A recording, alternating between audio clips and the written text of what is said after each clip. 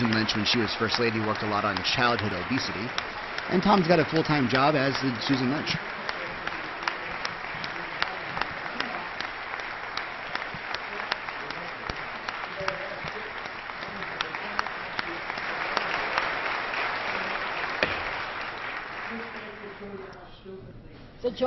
See Terry the joint there, convention along and with, guests um, will now be uh, with Maggie Hassan. Of course, Terie Norelli's been her own power center in the New Hampshire House. Uh, been really key on the budget, been really key on gambling.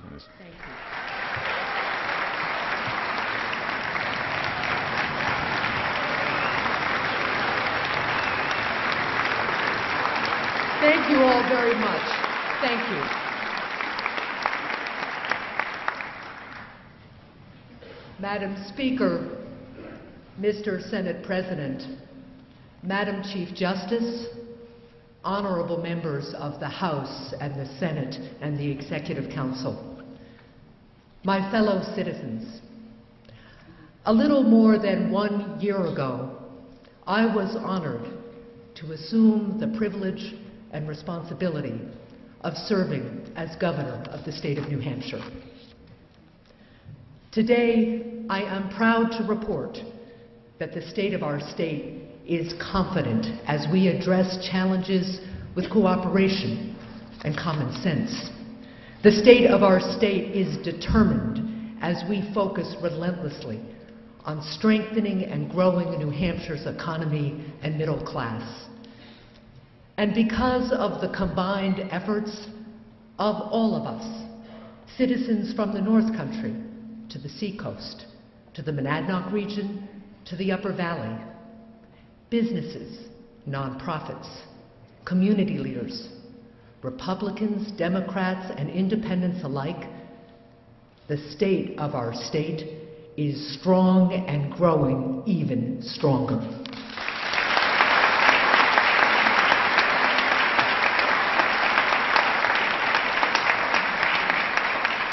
In contrast to the dysfunction in our nation's capital, in New Hampshire, we have worked together to support middle class families, to help innovative businesses thrive, and to grow our economy.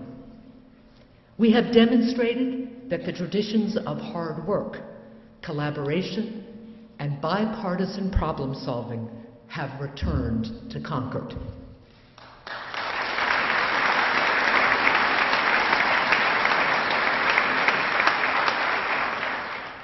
To continue our progress and lay the foundation for a bright future with even stronger economic growth, we must keep working together in the way that the people of New Hampshire expect and demand.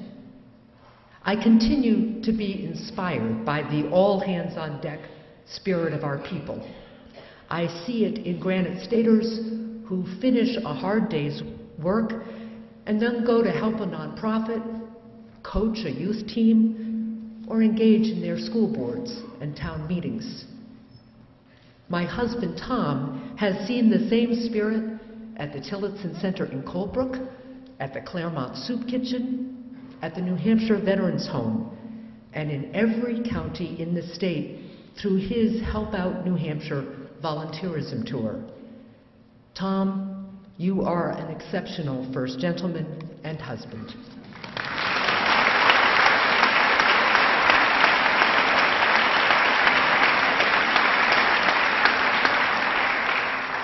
Your support and the support of our children, Ben and Meg, as well as my mother, Peggy, means more to me than you will ever know. Thank you for being by my side.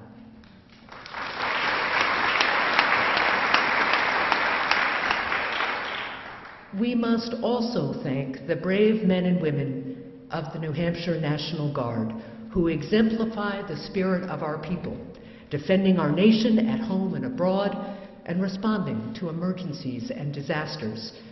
Granite Staters want you to know how grateful we are for your service.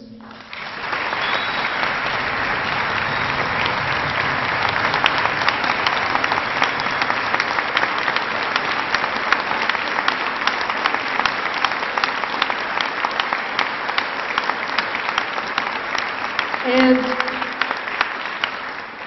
And we know that your service is only possible with the support of others, including your employers, but most importantly, your families.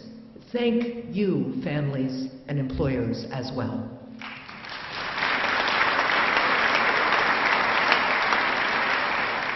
The spirit of our people is also exemplified by the ongoing service and sacrifice of all of our active duty servicemen and women and our veterans who have made our nation strong. Thank you and your families for your unyielding dedication to our freedom.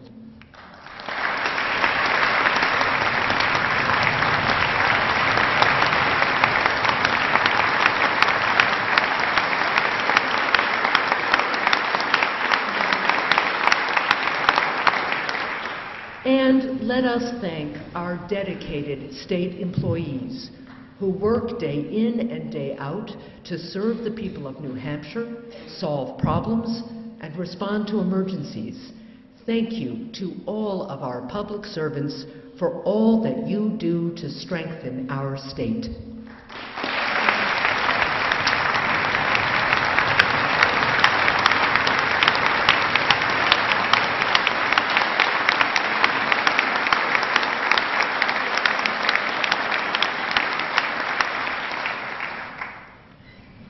Time and again, the people of New Hampshire have proven their deep commitment to our communities. And over the past year, we worked together to live up to their expectations and values. With nearly unanimous support from those in this historic chamber, we enacted the most bipartisan budget in more than a decade.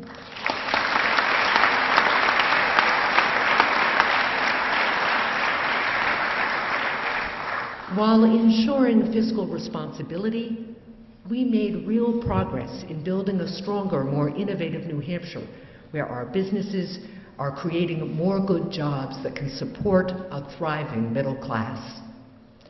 New Hampshire remains one of the safest, healthiest, and most livable states in the nation, and the best place to raise a family.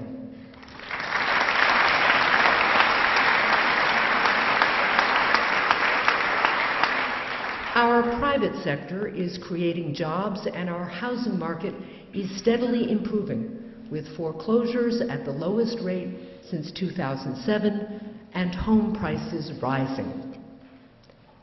And state revenues have outpaced projections, indicating a recovering economy.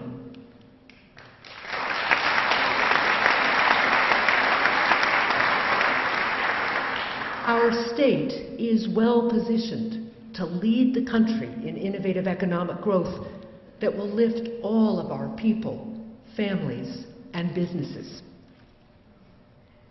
Capturing that bright tomorrow, however, requires hard work from all of us today. We face long-standing challenges, from education to infrastructure to energy to healthcare. How we come together to address these challenges and position our state for long-lasting prosperity will determine whether we will continue to lead the nation. We have shown in the last year that we can work across party lines to make progress, just as the people of New Hampshire work through problems every day. The great Robert Frost once wrote, The best way out is always through. We are out from under the greatest burdens of the recession. Now, we must keep our state and our economy moving forward. And for New Hampshire, the best way forward is always through. There is bipartisan understanding of what our most pressing challenges are. And with that as a foundation, we can work our way through together to reach solutions. It won't be without disagreement and debate. Those are essential ingredients of a democracy. But with open minds, open hearts, and common purpose, we can work our way through to compromise, and through compromise to progress for our economy and our people.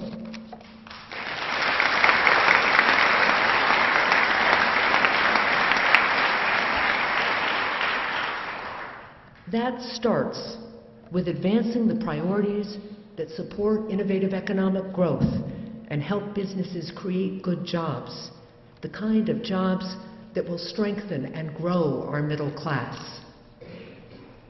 New Hampshire is home to many, many companies doing innovative work and creating jobs. Next Step Bionics and Prosthetics in Manchester has turned a former textile mill into a state of the art facility developing new technology for people who have lost limbs. Next Step is creating jobs, developing cutting edge technology, and changing lives. More than anything else, what business leaders like Matt Albuquerque at Next Step tell me is that they need a workforce with the skills and critical thinking needed for success in 21st century jobs. To build an even stronger workforce, we must keep more of our young people here in New Hampshire.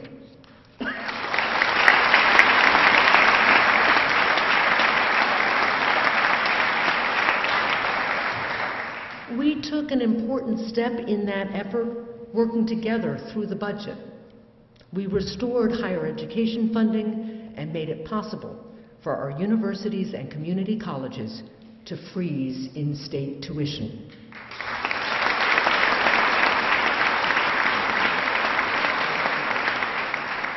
New Hampshire's public schools are often ranked among the nation's best in graduation rates, in reading proficiency, and in math proficiency. And many of our schools are innovating and working to find better ways to educate our students.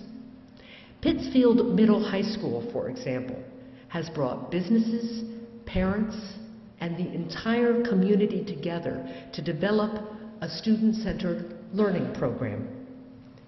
Educators are working collaboratively with students to identify what they need to learn and what they are having trouble learning. Then together, they build plans, including opportunities outside the classroom that help each student thrive.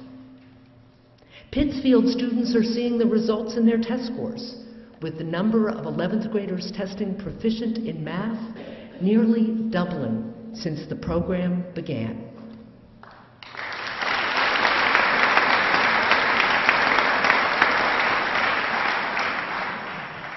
Pittsfield is seeing improvements because they were willing to look at education differently. And that is what we need to do across our state. We may be doing better than most states, but we have heard from our businesses that we still have work to do to ensure that we have a workforce that can compete in the future. That is why, across New Hampshire, local school districts are pursuing college and career readiness standards that include the Common Core, an effort that has the support of educators and businesses, of Republicans and Democrats. States came together to develop these robust standards in order to provide a consistent, clear understanding of what students are expected to learn so that they can develop the skills they need and the ability to think critically, helping our young people succeed in their careers, in higher education, and in life. Local school districts continue to have the flexibility to determine whether and how to implement these standards. And they should be implemented.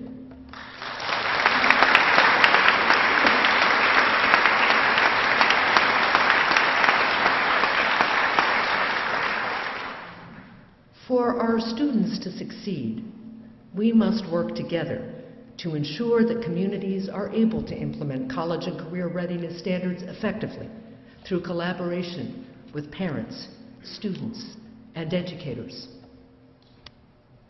These standards are an important step forward, but we must build upon them and make sure that students have access to a strong curriculum in a full range of subjects, from English to math to the arts. And to help young people fill the jobs that growing businesses are creating here in New Hampshire, we need to come together as a state to ask tough questions about how we can best educate our young people, especially in the STEM fields of science, technology, engineering, and math. Is it acceptable in today's economy to only require two years of math from our high school students? Should we be requiring computer science as well as biology? How can we better integrate engineering and technology into our classrooms? For New Hampshire to lead the way in building a workforce that is prepared for the high-tech jobs of today and tomorrow, our schools need to provide an even more rigorous STEM education that our businesses believe in, our educators believe in, and our students and families believe in. That is why I will be creating a STEM education task force made up of diverse stakeholders who will make recommendations for modernizing STEM education in our schools.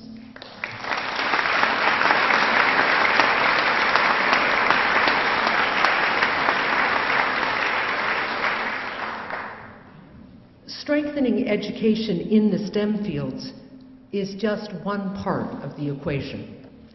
New Hampshire's high-tech and advanced manufacturing companies are struggling to fill job openings, even for jobs with wages over 25% higher than average. We need to reach our students at a young age and help them understand that they can stay in New Hampshire, find jobs here that are interesting and exciting, and build careers that will allow them to support their families and climb the ladder of opportunity. Building on the work done by our Advanced Manufacturing Education Advisory Council and the Manufacturing Extension Partnership, I have asked Commissioner Jeff Rose and the Department of Resources and Economic Development to lead a new effort this year to partner manufacturing companies directly with classes at local schools, building relationships that can lead to a stronger workforce pipeline. In addition to a strong workforce, job creating businesses need to know that New Hampshire's small, accessible, and nimble government will continue to be responsive to their needs. With bipartisan support, we increased funding for travel and tourism promotion. We put in place our first permanent director of economic de development since 2008. We modernized our Corporations Act, and we doubled and made permanent our research and development tax credit.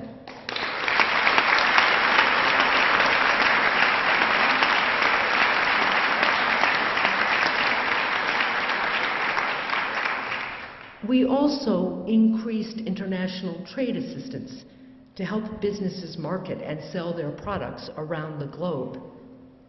Through November, our business exports rose 22% in 2013, making New Hampshire the fastest growing state in the nation for exports.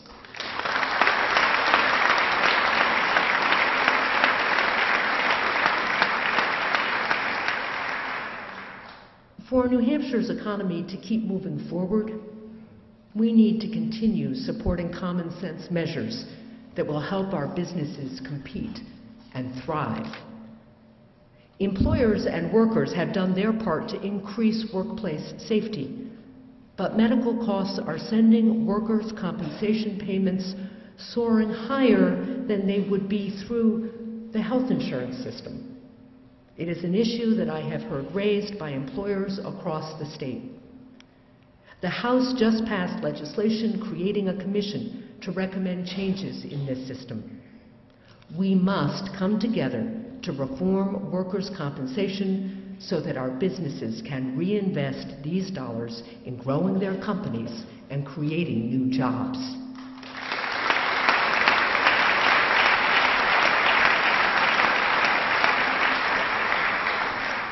A growing economy also depends on growing small businesses, the engines of job creation in communities across New Hampshire.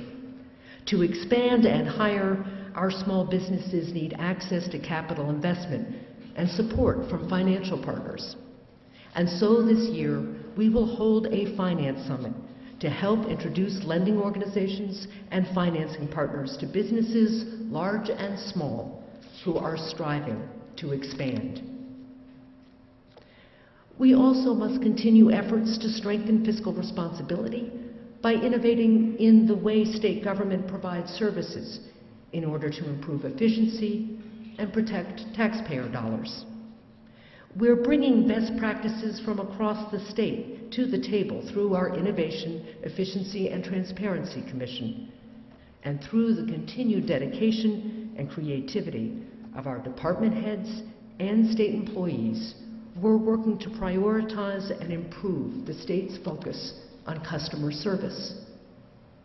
That includes building on efforts like our Business One Stop, which makes it possible for businesses to more easily learn what they need to do to start or expand in New Hampshire. We are investing in technology to launch the next phase of this project, and I will soon be issuing an executive order directing state agencies to move all possible business-related forms online by the end of the biennium.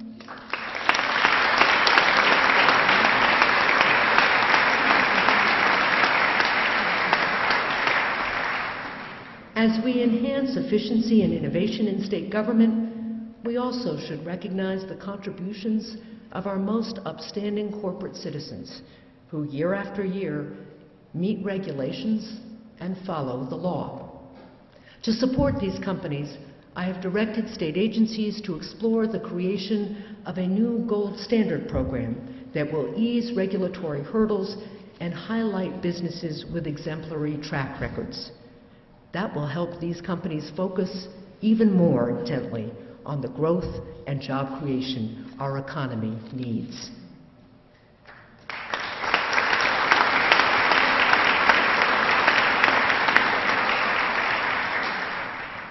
Taking action to grow our economy also requires that we acknowledge what is happening around us.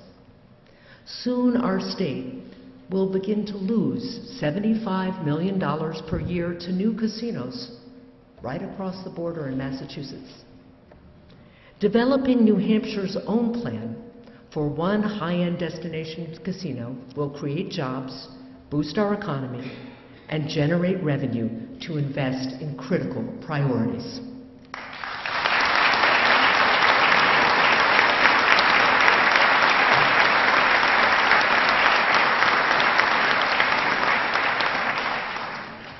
I know that during this debate last year, some members of the House expressed concerns about the state's ability to effectively regulate a casino. Responding to these concerns, Representative Ames and the Gaming Regulatory Oversight Authority brought in experts from across the country. For months, they worked hard to develop thoughtful recommendations for how to best oversee and move forward with one highly regulated destination casino in New Hampshire. I encourage all legislators to fully consider the authority's carefully developed bipartisan recommendations.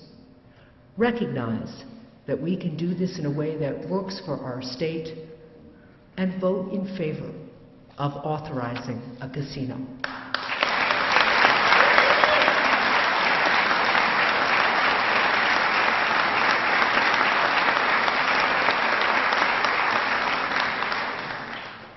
Instead of funding Massachusetts' needs, let's take this opportunity to invest in New Hampshire's priorities and help grow New Hampshire's economy.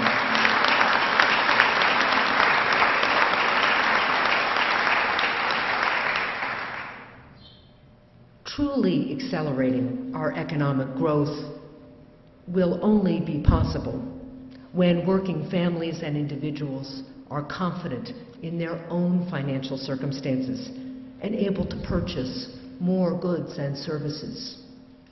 We must restore and increase New Hampshire's minimum wage.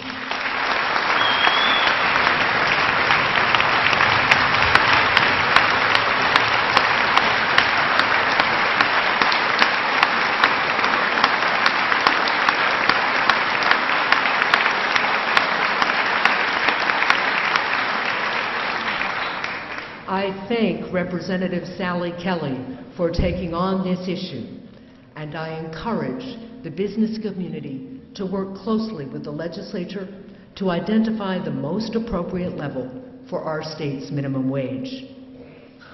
Because restoring and increasing this important protection will help our economy by putting more money in the pockets of hard-working people of all ages.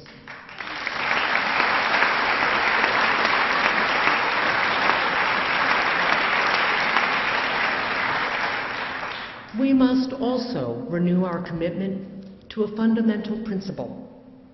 An equal day's work deserves an equal day's pay.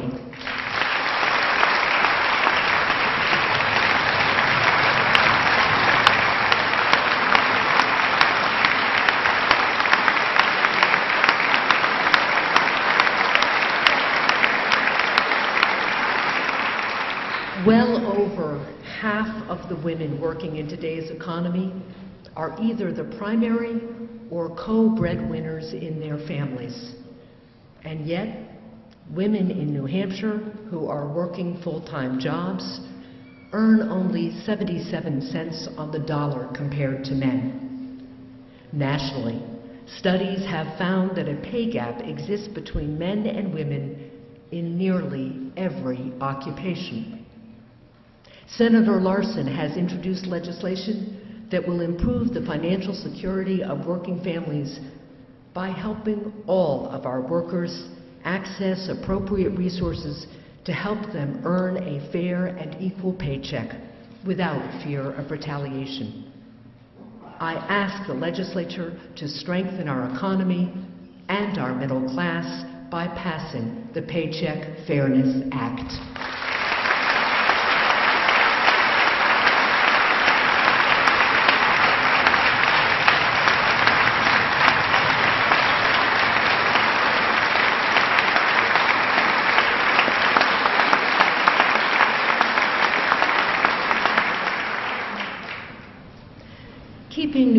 Hampshire's economy moving forward will also require us to work through a pressing challenge that has been neglected for far too long, our aging transportation infrastructure. In the last year, we've been able to make progress to improve the roads and bridges that our people and businesses rely on, opening the new Memorial Bridge in Portsmouth, continuing the widening of I-93, and adding open road tolling in Hooksett that is making for swifter travel for commuters, tourists, and businesses. However, every year, an additional 50 miles of state-maintained roads are slipping from fair to poor condition. The number of red list bridges, already at 145, continues to grow. When the project to widen I-93 was first proposed, it was projected to cost about $40 million. Nearly 30 years later, the construction costs are $585 million, and we need 250 million to complete the expansion. We know that a solid, modern transportation infrastructure is the foundation for long-term economic growth. And I appreciate that there is broad agreement in the legislature about the need to strengthen investment in our roads and bridges. Thank you to Senator Rausch for leading efforts to take an important step toward addressing our transportation needs.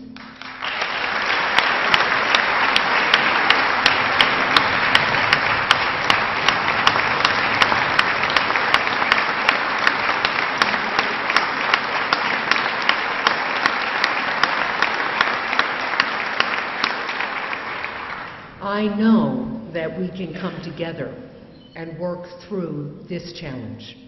We can reach a consensus solution to renew our investment in safe and modern roads and bridges.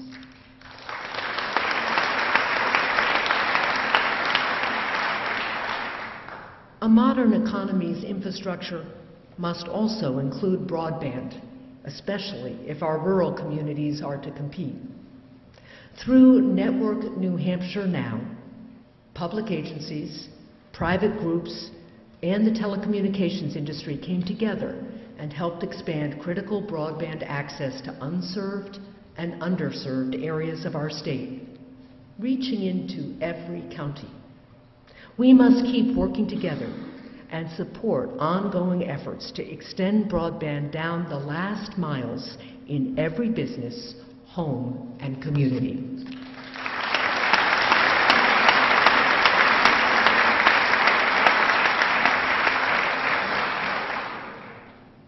Businesses, families, and seniors also need reliable and affordable energy to continue to grow and prosper. We must increase the focus on conservation and energy efficiency to protect our natural resources and lower costs. And we must work to diversify our energy sources so we are not disproportionately reliant on any one source. Over the course of this year, stakeholders throughout the state will be working to develop a long-term energy strategy for New Hampshire that will reduce energy costs, create jobs, and improve reliability and diversity. I encourage businesses, workers, communities, and individuals from across the state to fully participate in this process. As we develop our long-term plan, though, we must take additional steps to reduce energy costs. While a domestic energy boom is making fuels like natural gas as plentiful as ever, New England still suffers from being at the end of the pipeline. Expanding natural gas pipeline capacity for our region is one way to reduce energy costs in New Hampshire.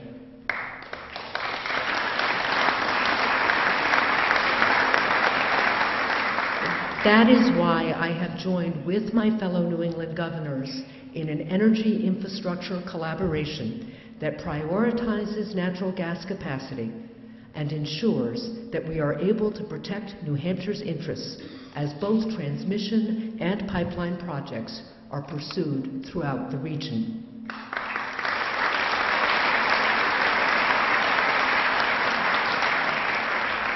This effort has already made progress, and the regional grid operator, along with our utilities and pipeline owners, are working on how to put additional natural gas in our region as quickly as possible. By working together, we can take steps to build a stronger, more affordable energy future.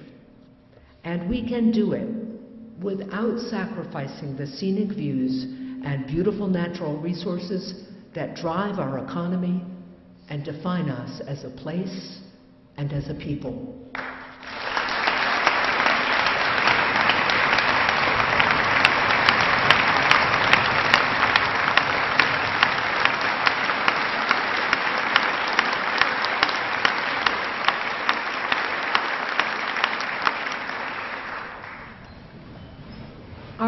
Challenges go beyond energy costs.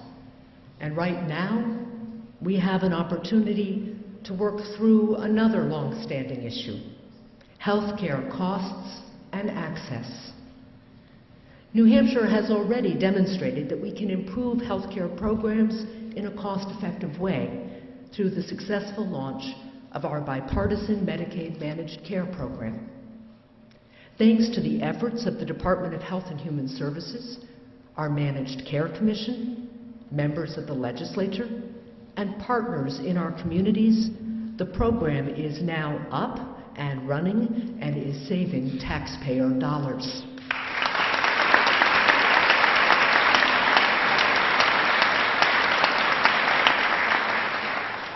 And Just a short while ago, Republican and Democratic leaders in the Senate announced that they have agreed to the framework of a workable, realistic plan to extend health care coverage to more than 50,000 hard-working Granite Staters.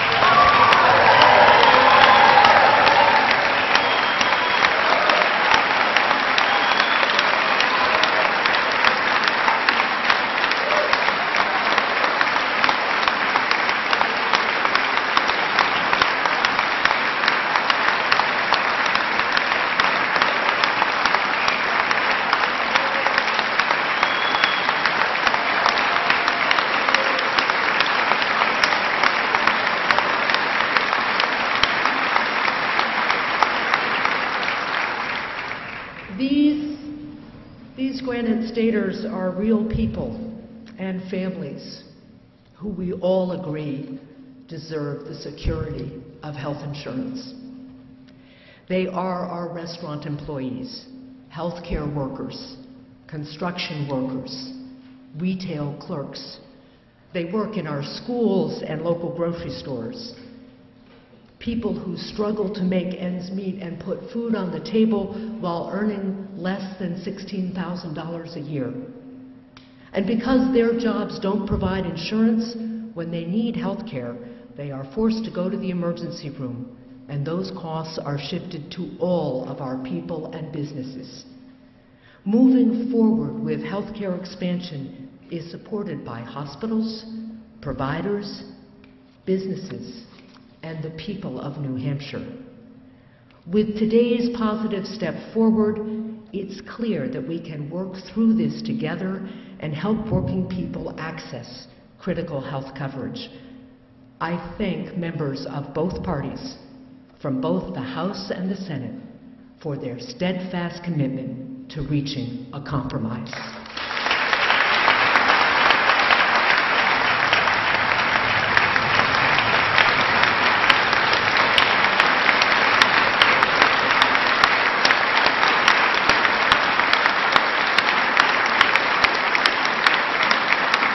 Now, now let's get this done.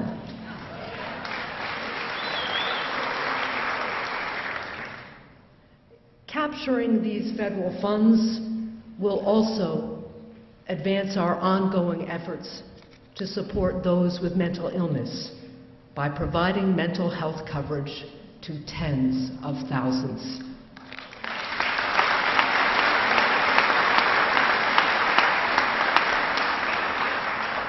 We recognized over the last year that we needed to act quickly to improve our mental health system.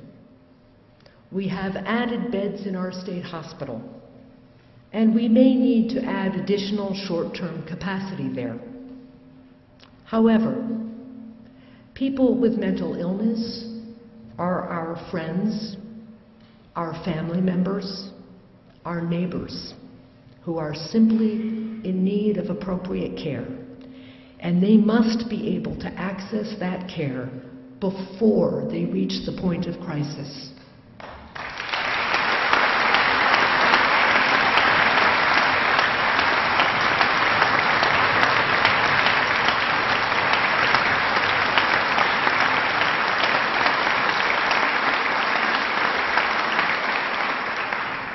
This is a challenge facing our healthcare providers, police officers, and communities across the state.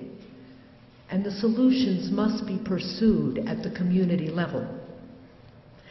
That is the work we began with our bipartisan budget as we came together to strengthen community-based mental health services. That commitment, in turn, brought parties to the table and led to a landmark mental health settlement between the state, the federal government, and New Hampshire residents with mental illness. The settlement agreement further enhances community-based mental health services and increases crisis support services, helping to address the trend of acute mental health cases at our hospitals' emergency rooms. It also ensures that we can continue addressing our mental health challenges in a fiscally responsible way that protects the state's budget and ensures that New Hampshire citizens are driving improvements in our mental health system, not federal judges.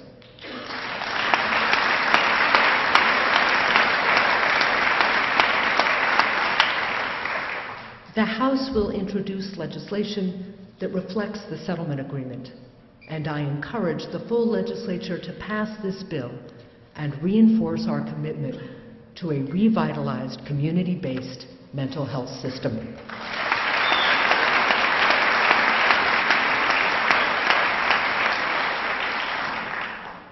But we must also work to fully integrate these community-based services into our larger healthcare system.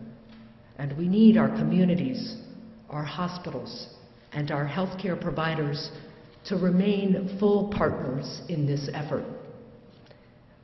We should take care not to build a separate but equal system.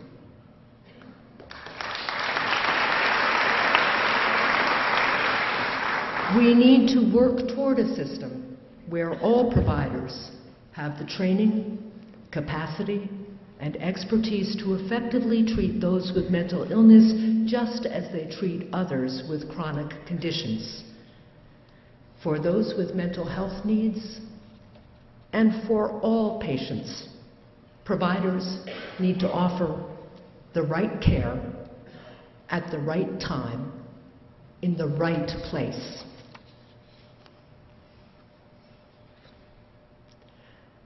Just as expanding Medicaid will strengthen mental health care, it will bring another important benefit by providing critical coverage for treatment for substance and alcohol abuse.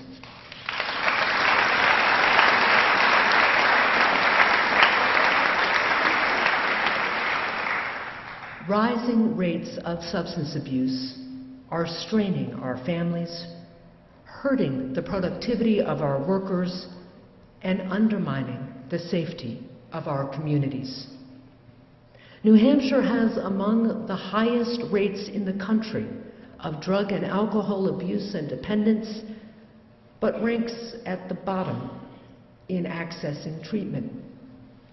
Heroin use is on the rise statewide as the leading cause of drug overdose deaths in 2012, and prescription drug abuse remains high. We have received an important federal grant that will help us take a critical step in reducing prescription drug abuse by finally funding our prescription drug monitoring program.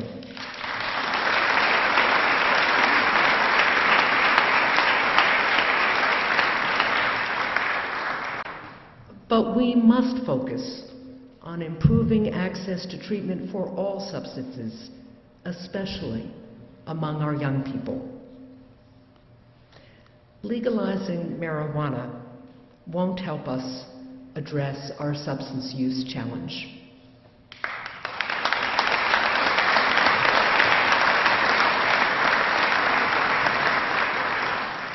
Experience and data suggests it will do just the opposite. Marijuana remains illegal under federal law. Our state already has one of the highest rates of marijuana use by young people in the country, and marijuana has real, negative health effects, especially on adolescents. The evidence suggests that legalizing marijuana will increase the number of minors who use this drug, will make our workforce less productive and our roads less safe, and will undermine public health. However, we do need to thoughtfully consider our current policies towards substance abuse to refocus on treatment. I do not believe that a young person with a substance problem should end up in jail, prison, or with a criminal record on their first offense.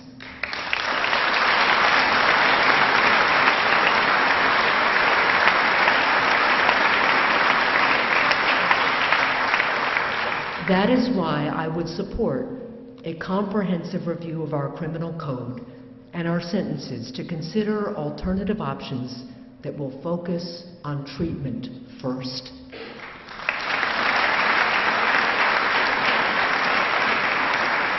Expanding, expanding Medicaid will support this treatment first approach by providing thousands of people with substance and alcohol treatment coverage for the first time, improving lives while strengthening our economy and public safety.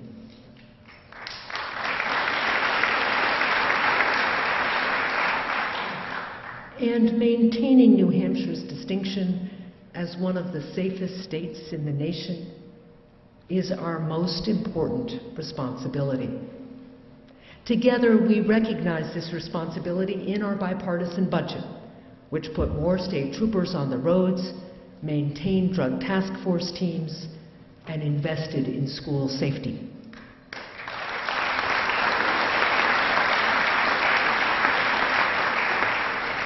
We've also launched an innovative partnership with the Media Power Youth Program to help reduce and prevent youth violence. This evidence based approach helps parents, educators, and young people understand media's role in influencing behavior. And the initiative has already received tremendous response in communities throughout the state. And together, we recognize the need to help our most at risk young people by restoring the Children in Need of Services program.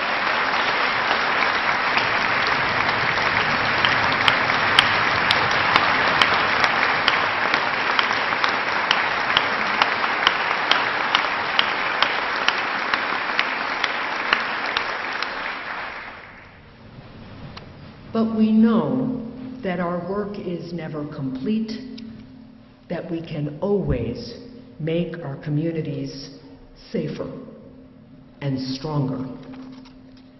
Our pressing public safety, one pressing public safety issue is the fact that New Hampshire does not provide the current background check system with information about individuals who should not be sold a firearm due to serious mental illness, even though that information is supposed to be included under federal law. I understand that some oppose changes to the system because they have concerns about the impact on Second Amendment rights, and some because they fear such changes would stigmatize those with mental illness. Senator Watters has led efforts to address this challenge in a thoughtful way, leading toward a measure to study the issue and make recommendations for further legislation. I encourage both the Senate and House to pass this bill, and I encourage those who have initially opposed the measure to be willing to reevaluate their positions and to help find a way through this issue together.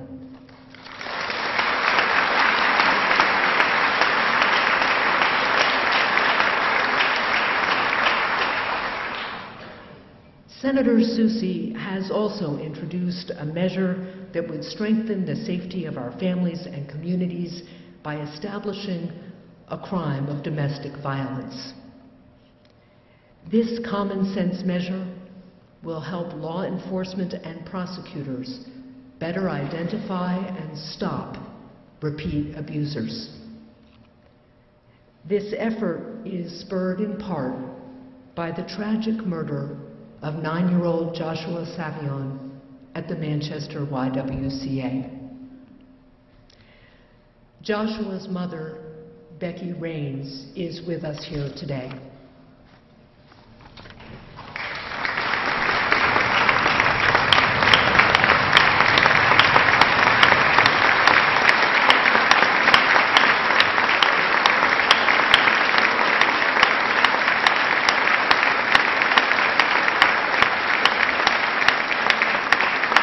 Becky, Becky, none of us can grasp the pain that you bear every day, but we are inspired by your courage in sharing your story and advocating for this bill that will help countless families and communities. Your strength gives us all strength, and your efforts will make us all stronger. I ask the legislature to heed Becky's call and pass this bill, pass Joshua's law in memory of her beautiful son.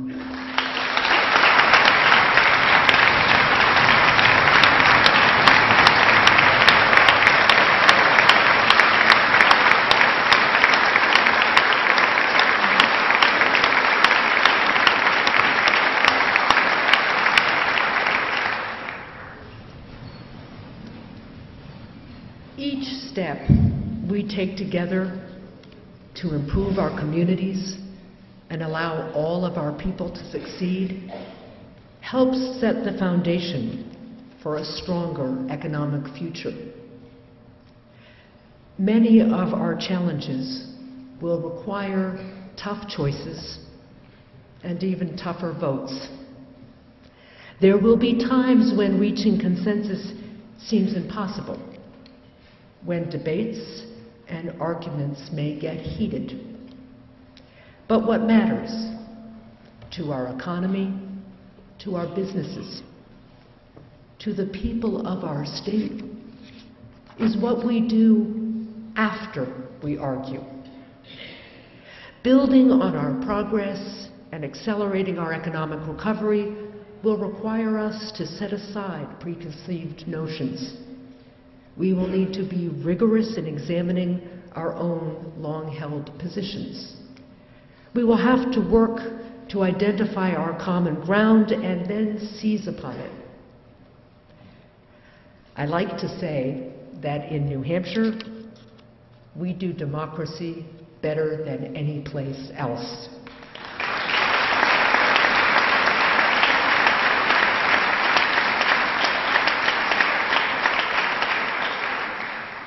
And in the past year, we have proven this to be true despite our status as one of the few states with a legislature split between the parties.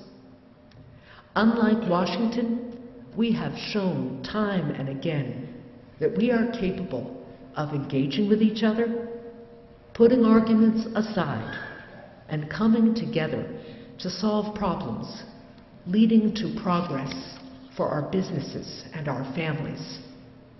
We must continue to prove the strength of our democracy by working through our challenges together with vigor, but with constant attention to our shared purpose and vision.